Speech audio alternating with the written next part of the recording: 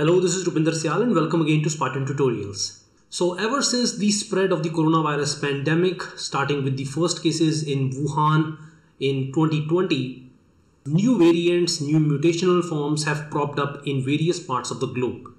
And they have been named by scientists because of their lineages and their phylogenetic and evolutionary relationships. They have been named as with cryptic names like P1 and B1351 and B1617 denoting different lineages which is fine for you know scientific nomenclature but I think for public it is really cumbersome. And what has indeed turned out to be is that people are referring to these variants by the name of the countries that they have first been detected in. And that has led to a lot of stereotyping as well as many racist remarks on social media as well as by different politicians. So it has created quite a storm. So WHO has now released a new nomenclature system for the different variants of SARS coronavirus and that's what we are going to discuss today.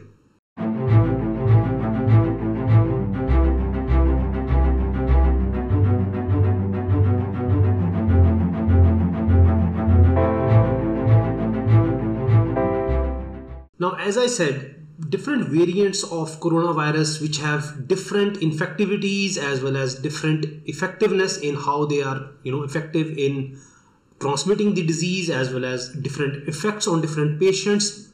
They have been classified into different types, different variants. So these are different mutational forms of the same virus.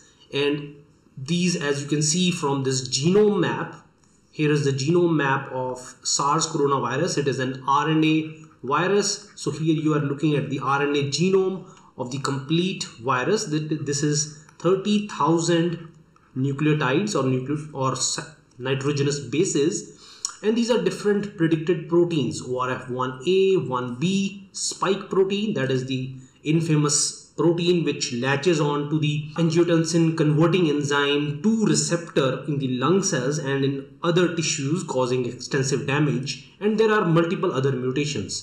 So these are the different variant forms that have been identified. These are variants of concern. So they have been labeled as potentially very dangerous and scientists are tracking them intensively. So B117, it was first isolated in UK B1351 was first isolated in South Africa. P1 first isolated in Brazil. B1525 it has been detected in multiple countries almost simultaneously and B1617 was first identified in India.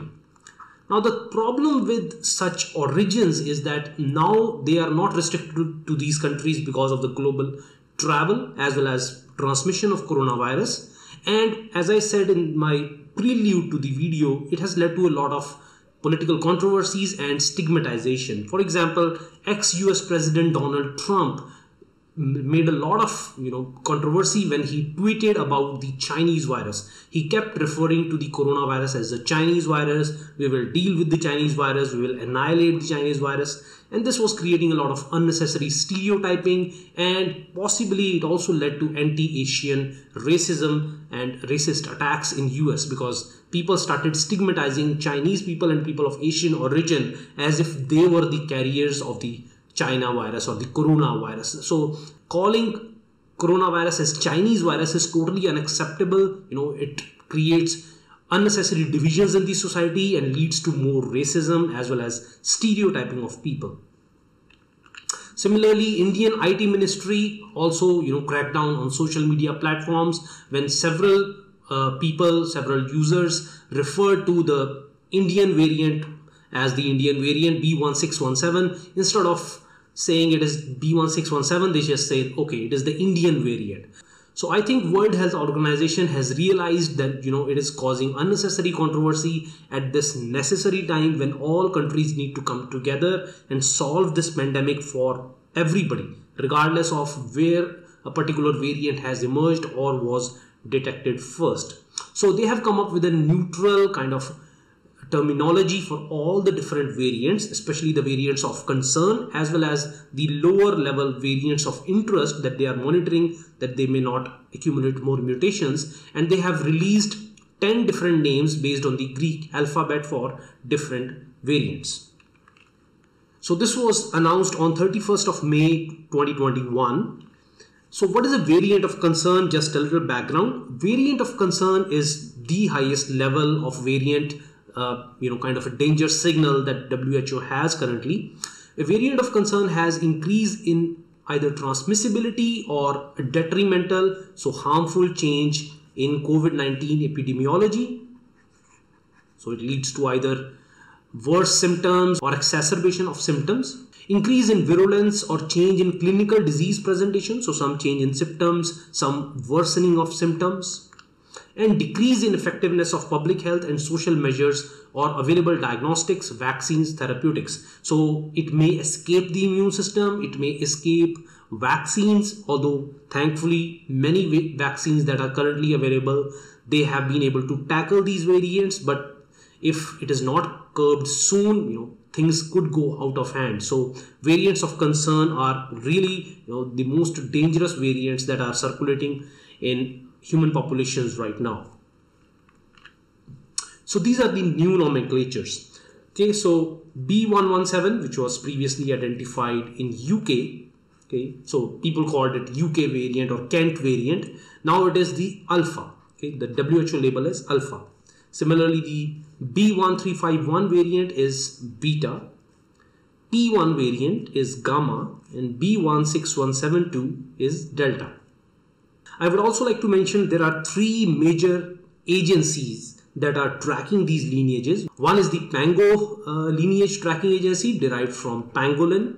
So this is extensively tracking the various lineages and the various variants. So it is an international group of scientists. Another is GSI, GISAID, GIS aid, okay. And another is Nextstrain. So these three organizations are extensively sequencing lots of samples as well as tracking different patients and finding out which variants they are containing. So they have agreed upon this label. Now variant of interest is a little bit on the lower rank of you know the danger signal but still it is a variant of interest and it is actively monitored by WHO. So variant of interest has been identified to cause community transmission or multiple COVID-19 cases or clusters or has been detected in multiple countries. So it has a high, probably high uh, degree of transmission it is otherwise assessed to be a variant of interest by WHO in consultation with the Virus Evolution Working Group. So this is another group of scientists who are working on tracking this variant of interest and they are looking at the potential effects of different mutations that these variants have. So here are the six variants of interest currently. B1427 or 429, it is labeled as epsilon, P2 variant, zeta, B1525 eta, P3 detected in Philippines first, theta, B1526 as iota, and B16171 is kappa. So remember that B16172 was delta. So delta and kappa are the new names of the India variant. So it is not acceptable to use the Indian variant or the UK variant or the you know Brazil variants for these in the common language so journalists should be especially wary and especially careful about not using the earlier you know country specific labels and using these new WHO recommended labels because it will just create uh, you know better understanding better focus on the spread of the disease and curbing the disease instead of you know unnecessary politics and racial bias.